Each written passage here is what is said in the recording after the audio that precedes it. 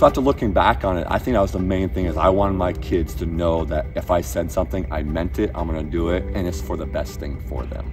So that was very, very impactful that once we started working together, it's like, how can I mold myself to be a better coach that my kids believe in what I'm saying? And I know I'm gonna do um, what I'm going to say.